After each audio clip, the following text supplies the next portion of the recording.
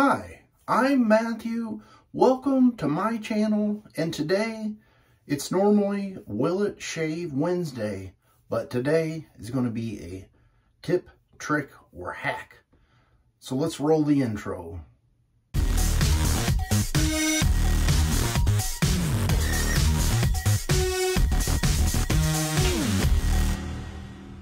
It's Wednesday and man, it is a chilly Wednesday morning. 58 degrees, got the old Carhartt sweatshirt on. And I've been thinking about doing this video for a little while, but uh, just been busy, you know, with ideas and shaving and what have you. Anyway, I wanted to do a video on how to make a shave scuttle. So, looking at my Captain's Choice copper bowl here. Uh, I've got this bowl, and a lot of people probably have some kind of a shave bowl. And uh, though this method worked for me, it may not work for you, or you can adjust it to meet your needs. So I'll say that. And I do have several different shave scuttles, and ultimately it comes down to the bottoms. They're always very, very narrow, and if you can see, once you put the brush in there, I mean, unless you're trying to lather way up here, it's it's it makes it difficult. Um, and that's why I always stick with like the Captain's Choice Copper Bowl because you have all this area or even the HCNC bowl. Uh, I like it because you've got that large area. And so, um, like I said, I've thought of several different things and uh, I always like the idea of the warm lather. I mean, it takes you back to going to the barbershop and always, I've always come back to having that problem when I've uh, bought different scuttles. And so uh, you can do this at home for probably two to three dollars if you already have some kind of bowl. And so what I did was uh, I have this bowl here that I usually rinse my razor in.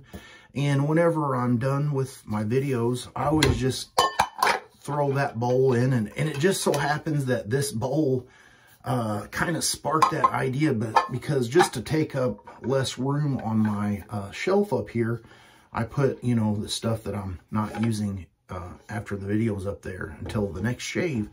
And it got me thinking like, hmm, well, I purchased this bowl uh, at Walmart and it was like 88 cents. Uh, and I'm sure you can still purchase them.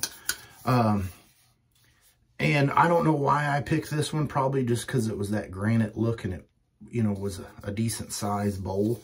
Uh, so anyway, I was shaving and, you know, one day the idea popped in my head and, and maybe there's other people that's done similar things. Uh, so the first thing I thought was I'll just add water. And then whenever I put the bowl in there, immediately, you know, this uh, bowl here is a little bit taller and I'd put too much water in it. So it ran over and uh, messed up my lather. So then I was like, maybe not so much water. And then it was not enough water. And so I came up with this idea of maybe I should take the shave bowl and raise it above a little bit so there's going to be a volume of water in here.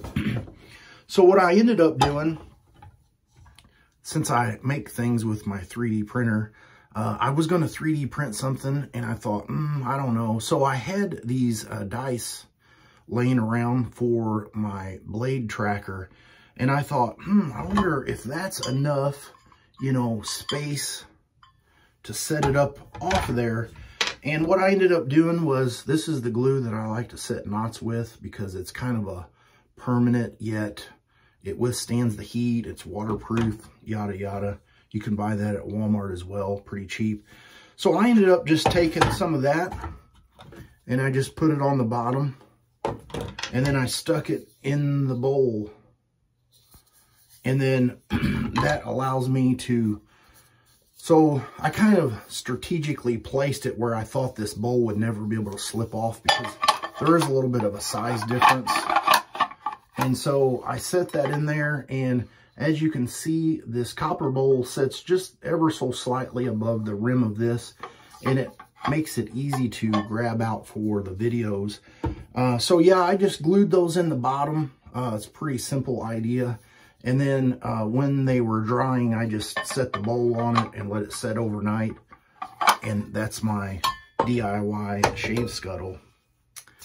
Pretty simple. Uh, I don't know if I rushed through it or didn't say enough, but if you have any questions, comments, or concerns, put them in the description box below.